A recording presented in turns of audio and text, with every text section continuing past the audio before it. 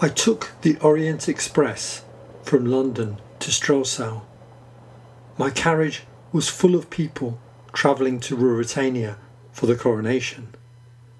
They talked excitedly about a woman called Antoinette du Mauban.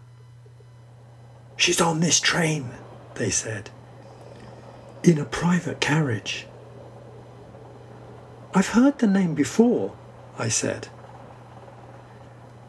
Antoinette du Mauban is rich, clever, and beautiful, but she's in love with the wrong man, Duke Michael of Strelsau, the brother of the new king, half brother, and rival for the throne. Michael lives in Ruritania, but he's not popular there. People don't trust him. Antoinette is going back to see Michael in Strelsau. Will he marry her? No. Michael wants to marry Princess Flavia, and he wants to be king. The train slowly passed through France and then Germany. After lunch, I fell asleep.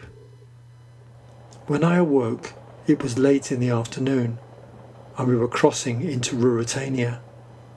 All around us were forests and mountains. When do we get to Strelsau? I asked the ticket collector. I need to find a hotel. You won't find a hotel in Strelsau tonight, he said. They are all booked for the coronation. Is there anywhere I can stay? I asked. Get off when we get to Zenda, he said. You can travel into Strelsau from there.